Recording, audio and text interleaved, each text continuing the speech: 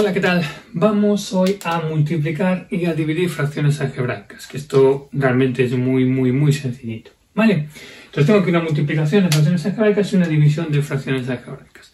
Exactamente igual que con las fracciones numéricas, yo siempre hago la misma relación porque es lo mismo. ¿Cómo se multiplican fracciones normales? Pues numerador con numerador y denominador con denominador. Pues aquí vamos a hacer exactamente lo mismo. ¿Vale?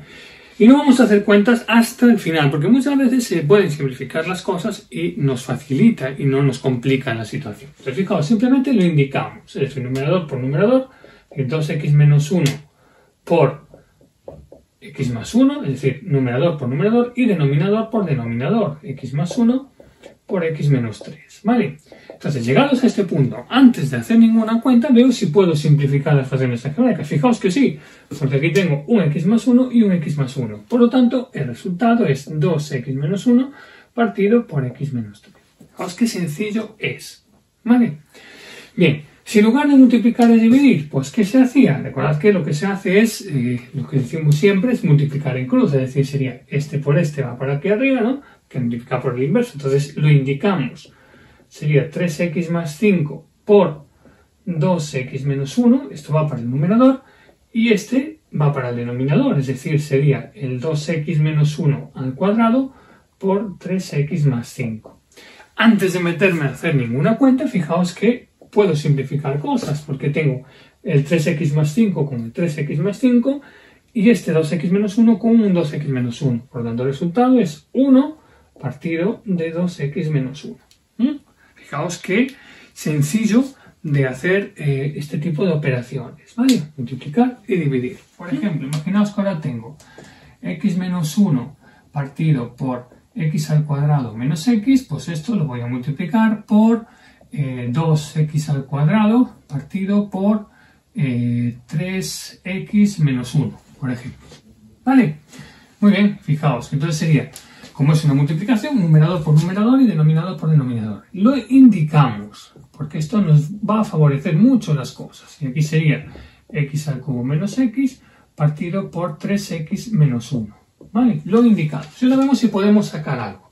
Bueno, fijaos que en principio no, pero aquí tengo un x menos 1, aquí tengo un 2x al cuadrado. Fijaos que aquí sí que puedo extraer factor común para factorizarlo, para tener x por x menos 1 y aquí el 3x menos 1. Fijaos, simplemente antes de hacer ninguna cuenta factorizo. Factoricé este de aquí, lo he puesto aquí, porque esto ahora me va a favorecer las, cosas. Fijaos que ahora sí tengo x menos 1 con x menos 1 lo puedo simplificar, este, 2, este x al cuadrado, una x de aquí con otra x de aquí, y el resultado ¿qué es? Pues es un 2 arriba, un 2x, perdón, arriba, que había 2x, y abajo me queda el 3x menos 1. ¿Vale? Fijaos, fijaos qué sencillo es. Si en lugar de multiplicar es dividir, pues lo mismo, pero multiplicando en cruz. Por ejemplo, imaginaos que ahora lo que tengo es un x menos 3 partido por x al cuadrado menos 1, ¿no? Y lo voy a dividir entre, aquí voy a poner un x menos 1 y aquí voy a poner pues un x al cuadrado menos 9, por ejemplo. ¿Vale? Un x al cuadrado menos 9. ¿Mm? ¿De acuerdo? Voy a un paréntesis. Entonces, fijaos, para dividir es multiplicar en cruz, es decir, esto por esto va para arriba, es decir, será un x menos 3 por un x al cuadrado menos 9, y en el denominador sería el x al cuadrado menos 1 por este x menos 1.